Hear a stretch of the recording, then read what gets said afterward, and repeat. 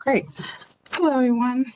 My name is Nassandra Nixon, and I'm also with Kiera Clark, and we work for the IPAWS Technical Support Service Center at the National Harbor, Maryland. Uh, We're here today with John and Brent with Singlewire, and today they're going to show us how to send an IPAWS alert using InformaCast. Before we begin, I'm just going to read a disclosure real quick. The Integrated Public Alert and Warning System vendor demonstrations are intended to increase state and local emergency management agencies' awareness of vendor products and IPAWS capabilities. The webinar provides an overview of the interoperability of these systems with IPAWS Open and will include vendor presentations of their products. FEMA IPAWS Program Management Office encourages and facilitates this discussion of products and tools, but is but it does not endorse any specific vendor's products. This webinar is for educational purposes only. Again, we'll first have Brent do a presentation with Singlewire. And then John will also go into the actual meat and potatoes with InformaCast. All right, Brent, I'm gonna pass you the presenter. Sounds good. I will take it away. Let's see. Can you see that all right, Sandra? Yep, you look good. Super. Well, hello, everyone. Um, as Nasandra mentioned, uh, my name is Brent Kudrusky. I'm Vice President of Strategic Initiatives and Channels here at Singlewire. going to talk to you a little bit about our InformaCast platform. And then my colleague, John Pyatt, uh, who's one of our software architects here, is going to jump into a demo and, and take you through uh, exactly how that works in our inter- interface, allowing our customers to send a notification out uh, to the IPAWS system. Um, one thing that's a little bit different about our software is we are not um, merely a front end for IPAWS. We are a complete mass notification and critical event management software platform that sends notifications to a lot of different devices and systems for our customers, but and then also sends that message out uh, to the IPAWS network. And that's what I'm going to take you through here a little bit before we uh, before we jump into the demo. I'm not a big fan of reading slides, but I think in a couple slides it really explains what our InformaCast product is. So Singlewire um, is the development organization, and then InformaCast is the actual product, and that's the product that John's going to take you through uh, when he jumps into his demo. InformaCast is a safety and alerting software solution that transforms devices on customers' networks into a powerful system for IP paging and emergency alerting and critical uh, event management. It integrates easily with desktop phones, PCs, overhead speakers, strobes, panic buttons, mobile phones, and more to increase the speed, reach, and success rate of your emergency alerts. One thing that makes uh, InformaCast a little unique out there in the market is um, our, our heritage and where we still very much so focus today is on on-prem notification capability. Um, there's a lot of text messaging solutions out there and phone calls and and push notification uh, type applications out there, which we we certainly fully support. Um, but we really have a focus on on communicating within the facilities of our, our customers, so that it, whether that's sending messages uh, to IP phones, displaying messages on computer desktops, integrating with analog paging systems, integrating with IP speakers or digital signage, et cetera, et cetera, we can really, uh, for lack of a better term, light up a facility and let people know in a very intrusive way um, that they that they have a situation. I likened it uh, in many uh, respects to kind of a fire alarm type system. So, uh, but for other use cases. And speaking of use cases, that takes me to my next slide. This is what customers are using our software for today. Uh, whether they need a paging and intercom solution or maybe a bell scheduling type solution in in, uh, in K-12, uh, those are kind of really an operational use case for for day-to-day type business. The nice thing about that is customers who use our software for day-to-day type uh, operational uh, procedures are familiar with it. So when they need to use it for more emergency use cases like active shooter alerts, automatic weather alerts, panic buttons, internal alerting for 911 calls, etc., they're familiar with the solution and they're accustomed to using it. They're simply sending a different message, and that's part of um, what John's going to walk you through when when he uh, when he jumps into the demo. Um, we also have facility integration to integrate with things like access control system, video surveillance systems, IoT systems, uh, digital signage, which I mentioned. And then we also um, have remote worker notification capability as well, which kind of takes us back to text messaging, uh, phone calls, push notifications to our app, uh, etc. So that's, uh, I guess, walking through a few use cases, and this is really a, a graphical illustration of how our software works. If you jump ahead here, you look on the right side of this slide, you can see the IPAWS capability here. But on the left side are all of the different devices or systems that can trigger a notification. So we've got manual triggers that you'd expect from like a desk phone or InformaCast mobile app, um, collaboration tools like Microsoft Teams, including wearables um, like panic buttons um, and things of that nature that can trigger a message and start a, a flow with uh, with InformaCast. And then on the automated side, we, as I mentioned earlier, we can get automatic weather, weather alerts. Uh, we can enter, or we can uh, uh, send a notification out when somebody dials 911. We can integrate with fire alarm systems, and then some more niche type systems like earthquake detection and gunshot detection systems that can that can bring an alert into our system. We process that with InformaCast, and then we can send text and audio to all those devices and systems you see here on the right hand side of the slide. You notice there's a heavy focus, as I alluded to earlier, on the on-prem notification capability with desk phones, computer desktops, IP speakers, analog paging systems, etc. Uh, and then we get down into the mobile and collaboration applications, and that's where our IPAWS integration lives right under the mobile category there. So giving customers the ability to send out a notification across their facilities to their uh, own constituents, but then also being able to send that message via the IPAWS network as well uh, for local emergencies, assuming the entity slash customer of ours is licensed to do that. Uh, we can then grant them that capability within the within the application. I mentioned this already too. Intrusive audio is a big piece of what we do from from a, a notification alert perspective, and you're going to see that when we send an alert, and you're probably accustomed to seeing these uh, broadcasted across TVs and things like that, where it scrolls across the top of the TV, but then there's a real defined audible alert that gets people's attention. We do that same thing within our customers' facilities using um, devices and systems they already own, their phone system, their computers, and then their paging or intercom system that they may have as well. So that intrusive audio experience really helps get customers' attention of, of, of what's going on, especially in very uh, critical type situations. We also have, I mentioned this a little bit earlier, the duress capability. So whether um, you want panic button type functionality within an app, uh, on a phone, we have that. I showed you the badge um, uh, of a wearable where you can press a button and send out a, a, a, notification. And then desktop panic buttons and panic buttons that are right on uh, IP phones are, are, available as well. User presses that button and it sends that notification out um, um, automatically to those devices you see there on the right hand side of the slide. And then very early next year, we're going to be able to use that same workflow and send that information all the way to the PSAP. Um, if you're familiar with Alyssa's Law, uh, which states you need to have panic buttons in a classroom, and, and, when that panic button is pressed, it automatically is sent to the local PSAP uh, or Emergency Services Department and lets people know who pressed their panic button and where they're located in the building. Uh, we're supporting that final link of delivering that information all the way to the PSAP uh, real early next year. And the final piece that, that kind of brings it all together is, is incident management. So that ability to send out an alert, uh, have a, a, a, console that you can quickly and easily send up follow alerts, and then also gives you access to different resources that are relevant to that particular emergency, whether it's a URL to get to a, a security camera, whether it's documents for policies and procedures, maybe it's evacuation maps, um, etc. It's kind of a, a, repository that's specific to a, spe- uh, a specific incident um, that you trigger that gives you all the information that you need to actually manage that particular incident. And that is all built right into um, our software as well. So that again is just kind of a little bit of an introduction of what we do here um, at Singlewire with our InformaCast platform. Again, in the in the interest of, of mass notification and critical event management, that is what we do for our customers, and we've got a very complete solution for that, and uh, a lot of happy customers across the country, and then also that ability to send that information out on the IPAWS network as well. And that is John's cue to take over and show you the demo.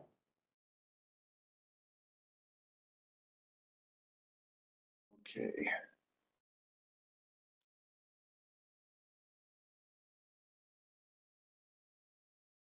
Okay, um, as uh, Brent mentioned, my name is John Pyatt. I am one of the software architects at Singlewire, and I'm going to run you through a demo of how our software works with regard to integration with IPAWS. Um, this first screen you see here is just an administrative screen. When a customer receives their credentials from FEMA iPause system, they're going to come to this screen and they're going to enter all their information. uh, in the interest of brevity, um, I've already preloaded it. Um, but I just wanted to show this screen here. So you pass in your COG ID, your passwords and aliases, and your key store files and upload them. And then uh, FEMA is gonna, we'll make a call out to IPAWS to get all your permissions and stuff, and that's what you're seeing right here. So we list your production training COG IDs as long, along with your expiration dates, the various uh, event codes that you're authorized to use, along with the um, geocodes that you're allowed to send uh, notifications to as well. So that's the administrative thing, and uh, this is something that you have to do probably once every three years um, when you have to get new credentials from FEMA. So what I'm going to do now is show the actual process of sending an alert. Um, first thing I'm going to do is demonstrate a little bit about how you can create your own custom areas uh, within a uh, county. So you can create either circles or polygons. We have one here already defined, a polygon defined for the University of Wisconsin campus because we're uh, located here near Madison. Um, if I wanted to add one, I can pop up a edit screen here. I can either do it as a circle, which you see here. You can see the little circle in the northwest part of Dane County. And I can um, make it a little bigger, move it around. Or if I want to do, I can do a draw a polygon instead. Uh, what I'm going to do here is I'm going to put a polygon uh, over uh, our Madison Airport, which is, we'll call it Madison Airport. And it's roughly in this area here. So I'm just gonna like that, hit save. Now that's available as well. So now I'm going to go through the process of actually um, sending an alert. So we click on the alert in the uh, left nav, and the first thing you're going to be presented with is which flow do you want to go through? Do you want to go to an actual production level alert, or do you just want to send it to the training system? As many of you know, FEMA requires a monthly uh, test message be sent to their training system. So once a month, you click on the training link. We're going to do the production one here. Uh, for an example, you'll see it's going to show here your history of alerts that have been sent out. Um, we're going to create a new one here, brand new alert. One of the features we put in is when you want to send out an alert to the IPAWS system, we require you to re-log in to the application as part of that process. And the reason we do that is to make sure that the people that are sitting at the terminal actually have uh, authorization to send the alerts. So if somebody had stepped away from their terminal and somebody else sat down who wasn't authorized, they'd have to present their credentials again before they'd be allowed to continue. So the first thing we're presented with is um, a, map of our area that we're authorized for. And we can select our, our counties. So I'm going to select Dane County here. And then I'm also going to select uh, the Madison Airport, which you see pop up here highlighted. Then the next thing I'm going to pick is the event code. The event code, um, I'm going to pick uh, local area emergency. I'll explain that in a minute. Um, uh, some of the features with that as well. Um, and the, the ones that are presented are only the ones that you're authorized for. So I'm gonna put in our short message, long message. And you'll see it pre-populates your description field as well. You can also, you also present, provide a headline um, for the CAP message and then the last thing on this screen you can do is select the expiration time. The default is going to be 24 hours into the future, which is uh, the maximum allowed by IPAWS uh, via message. Um, you can also change it if you needed to with the uh, graphical interface here, but we're going to leave that as is. Then you're going to go to a review page, and on this review page it's going to show what event code you selected, um, the text that you're going to send, and then the other thing it does is it presents these last five sections that um, it's uh, you need to provide the required fields in a CAP message. And what these fields do is they are going to default to our best guess as what you probably want uh, based on your event code. So depending on the event code you pick, it's going to change these values, the, the default values. You can obviously go in and add more if you uh, so choose um, and mo- modify as you see appropriate for your given emergency. Once you've verified these five fields, you check them off, saying they're ready to go. And then you're going to hit the send button. And when you hit the send button, it's going to ask for one last thing, which is your COG ID again, uh, to verify that um, you, know, you really want to send this out. This is sort of your last chance uh, to send it out. And you'll mention, you'll see that there's a warning that says this is actually going out to the public. You wouldn't see this message if we were in the training flow, but because I selected production, that's where it's going to go. So now I'm going to hit send or hit OK on this, and this is going to send out the alert. So you should see it on the screen, uh, in this case, uh, in the FEMA office. So if they wanted to share that. uh, if they do that. So we're gonna have our cameras on in the, the lab here. Yeah, and you should, yeah, you should see that message. Just that quickly, we're able to see the message come across the TV screen. Yeah. Yep, we can see it. Yep, so that's, so that's the, the first part. That's sending out the initial alert. The next thing you want to do possibly is send out updates.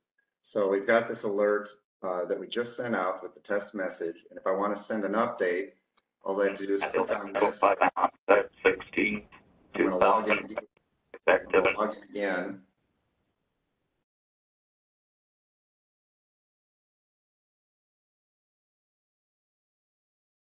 And it's going to take me to this, basically the same page uh, with my pre-selected area from my previous update or my previous alert, excuse me.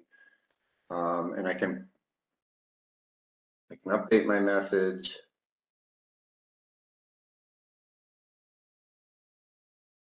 Headline. Click review and click send. And once again, I can ask for my COG ID. So I send that. So now the update should go out as well. So it says up here, it's you successfully sent an update.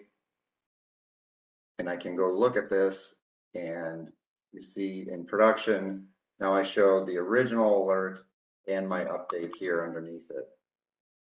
Um, so then the last thing is if you need to cancel an alert, it's actually much simpler because you don't have to provide all the details like the category and the response type and severity and things like that. So when you need to send a cancellation, you just click on send, click on send cancel and type in your COG ID and that should cancel the alert. And that's it. That's the entire flow. One of the things we try to do, hopefully notice, is this user interface is really, really simple. And we tried to make it as simple as possible because we understand that sending out these alerts for any given entity is an extremely rare event. So we want to make sure that the user interface is as intuitive as possible so that when on those rare occasions they do have to send out those alerts, the user interface sort of guides them through what they need to do. Um, and um, that concludes the demo. I'm going to hand this back over to Brent and the people at IPAWS. Uh, but thank you for letting me show you this. Thanks, John.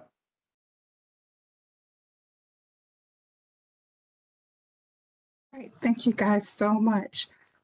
So we just want to elaborate further on the fact that, that today's test was in a demo environment and we were displaying the, the alert show on the TV screen. We also want to mention that there is a message viewer. I'm going to share that in a moment.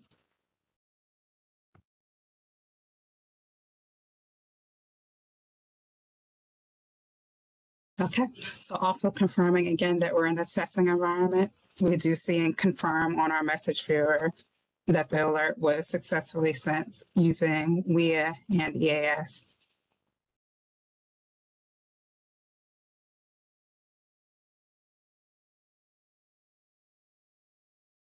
Again, I want to thank John and Brent for your time today. We really appreciate you.